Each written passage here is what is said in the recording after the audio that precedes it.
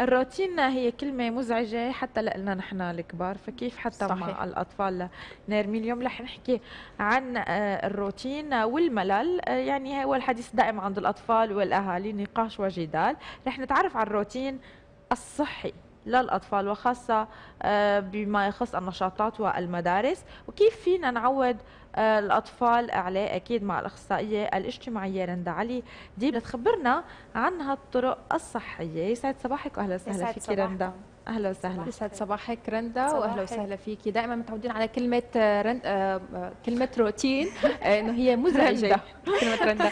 كلمة روتين هي مزعجة جدا. ولكن هالمره عم نحكي عن الروتين الصحي. خلينا نعرف المشاهدين شو هو. هلا فعلا روتين رندا لأنه أنا دائما بنصحهم للأهل إنه.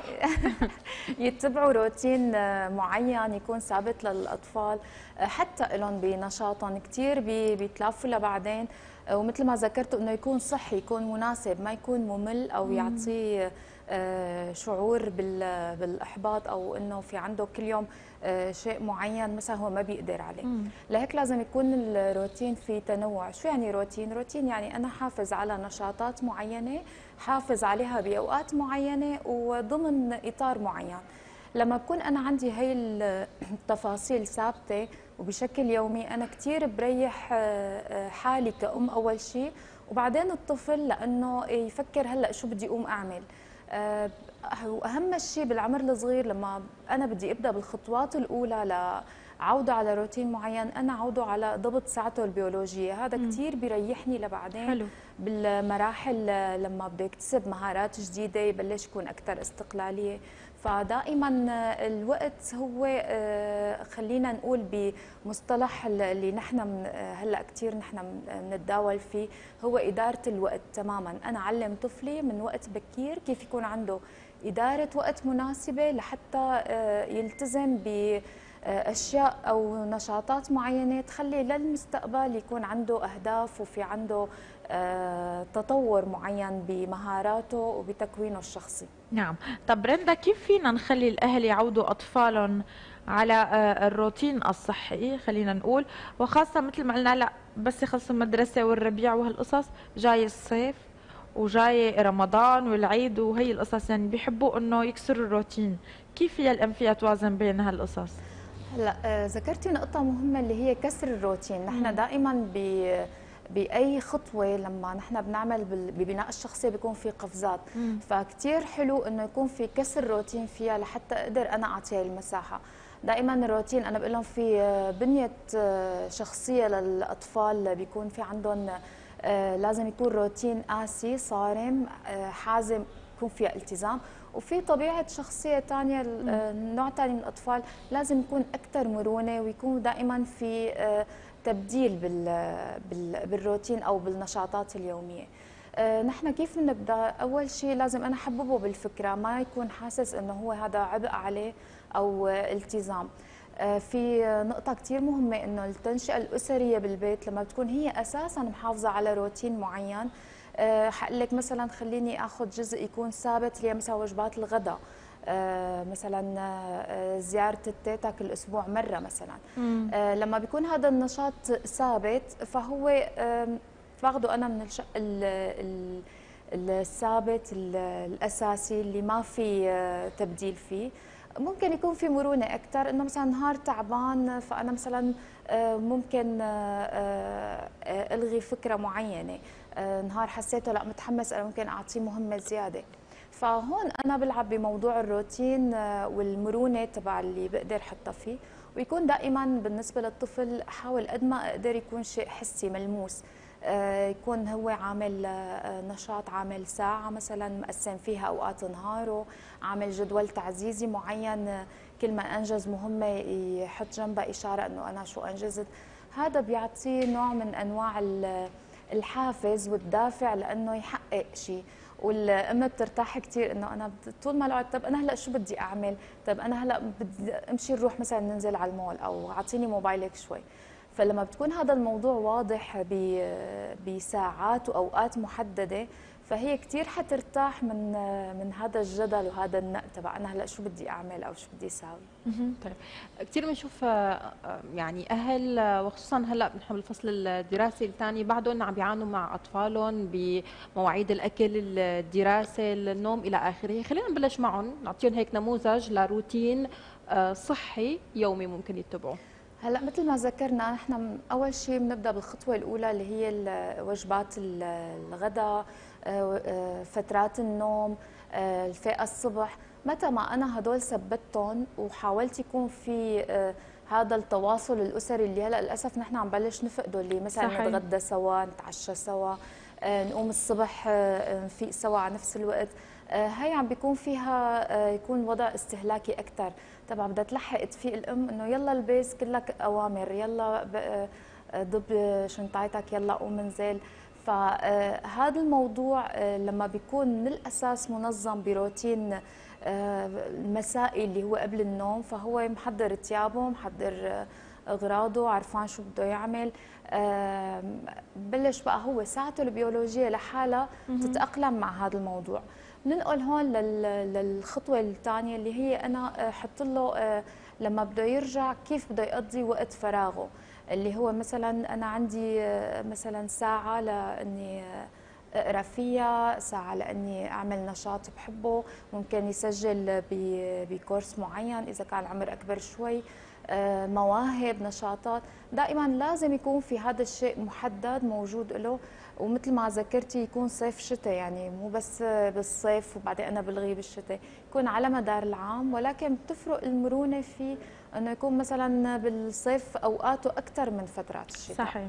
آه، حلو كثير تبلش كأم تدخل العادات الإيجابية اللي هي مثلا عشر دقائق قراية قبل النوم آه، مثلا آه، كل مثلا يوم أي يوم لا حنطلع نمشي شوي بالحديقة. بتعطيه مهمات بالبيت يعملها إنه أنت اليوم دورك مثلا بين أخواتك لأنك تساعدني مثلا بالغرفة أو شيء. آه، هاي الأمور الروتينية اللي بتكون ثابتة وبنفس الوقت بتعلمه الصبر بتعلمه آه، كيف آه، هو مو كل شيء له في أشياء ممكن يحصل عليها أشياء لا بده ينطر وقت لياخذها سواء كانت المكافآت أو المهام.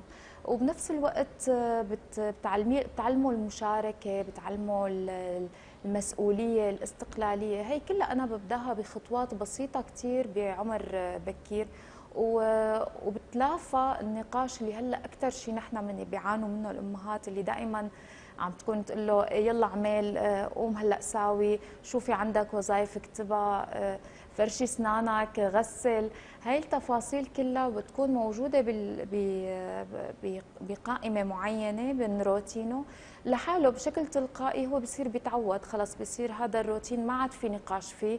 صارت فيها بقى تناقش وتضيف أشياء أكثر صحيح. طيب يمكن في خطوط عريضة كمان الأم لازم تنتبه لها. آه، بين الروتين والملل وخاصة الأولاد لما ينقوا كثير وإنه مالين مالين. كيف هي الأم تتعامل مع حالة الملل؟ اللي بتترافق مع الروتين أحيانا أو تغيير الروتين مثل ما قلنا بين فصلين بين العطلة والمدرسة مثلا. هلأ لما بتكون حاطة نشاط هلأ هو بيكون نحن مثل ما بنقول لهم إنه خيريهم بين اختيارين تكوني أنت قدرانة تنفذي الاثنين أو هن ضمن إمكانياتك. آه فهي لما مثلا بتعطيهم إنه نحن بآخر الأسبوع في عنا مثلا كل أسبوع ساعتين أنتم اختاروا النشاط اللي بدكم إياه. فهذا بيعطي هذا المعزز وبيعطي هذا الكسر للروتين. آه، دائما مثل ما نحن بتحسي إنه مثلا مضغوطة آخر الأسبوع إنه بدك تعملي شيء يكون غير كل شيء عملتيه طول أسبوعك. فهذا الموضوع هو آه، بيكون كأسرة كبيئة بالبيت هو أساسا موجود. آه، ممكن كثير له نحن اليوم بما إنه بكرة عطلة مثلا نهار السبت اليوم رح نحط موفي وأحضر أنا وياك مثلا فيلم نحضره. فهي تفاصيل كثير بسيطة وضمن التعاون أو ضمن العلاقة الأسرية اللي بتكون بين الأم والشيء المشترك مع طفلة حتى مع الإخوة حتى مع الأب. فهذا بيكون ممكن زيارة لحدا من القرايبين نحن قلنا زمان مو زايرينه.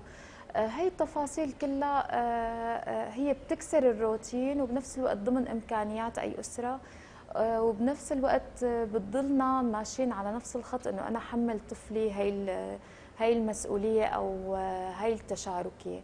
الموضوع إنه دائما عنده شعور بالملل أو شيء. نحن لما بنكون حاطين بالجدول التعزيزي لإدارة الوقت اللي هو بده يتعلمها إنه أنت عندك مثلا وقت فاضي شو بتحب تعمل فيه؟ اختار ممكن يحط عدة أنشطة وكل يوم مثلا آه، من العلبة مثلا يسحب نشاط ويشوف شو الموجود مم. ويقدر يعمله. آه هون تعطيه لحتى يقدر هو يفكر أكثر مو دائما راجع له آه هو غالبا بيكون آه نقل أطفال. أنا بقول لهم لما ببلش يزيد نقوا إنه أنا آه، شو أعمل؟ أنا مالل. فهو بيكون لا عم بدور على شيء ثاني عند الأم اللي هو الاهتمام. فممكن تعمل هي وياه نشاط مشترك أو ممكن تقعد تحاوروا بأي موضوع أو تسأله شو صار معك بنهارك آه، فهي التفاصيل آه، كثير مناسبة لحتى تقدر تجزم بين إنه هل هو فعلا عنده شعور بالملل أو ما له قدران يفكر ولا لأ هو بده يتواصل معه بطريقة معينة. نعم طيب.